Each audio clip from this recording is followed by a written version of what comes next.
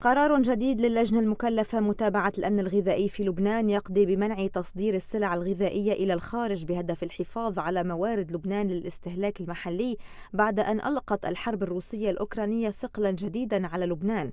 فما هي الصناعات الغذائية التي تشكل النسبة الأكبر من الصادرات والتي يمنع تصديرها في الفترة الراهنة ريثما يتأمن البديل؟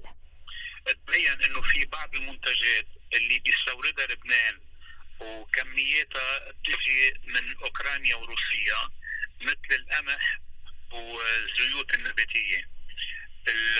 اخذ القرار إنه كل القمح ومشتقات القمح ممنوع تصديرها.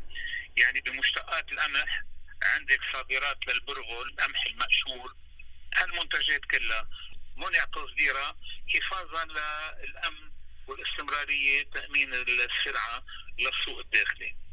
بالنسبة للزيوت أيضا كمان لأنه مجمل الزيوت النباتية خاصة زيت دوار الشمس كمان يستورد الكمية الكبرى منه للبنان من أوكرانيا. الحبوب بعد ما أخذ القرار النهائي لأنه كمية الحبوب اللي بتجي من أوكرانيا وروسيا ضئيلة جدا مقارنة مع الكميات اللي بتجي على لبنان من كندا من أمريكا من عدة دول من أوروبا من أمريكا اللاتينية ولكن هل من خسائر سيتكبدها القطاع مع تعليق تصدير مواد تنموية في إطار الإجراءات المتخذة للمحافظة على مخزونها من السلع الغذائية؟ أن العديد من مطاحن آه، البرغل اللي آه، مجهزين استثمارهم والاتهم آه، لتصنيع البرغل وإعادة تصديره. وعندهم أفشون العالميه هدول طبيعي رح يتأثروا. آه، هلأ إجراءات مؤقتة عم تتخذ. ليس من البدائل من القمح من غير مصادر.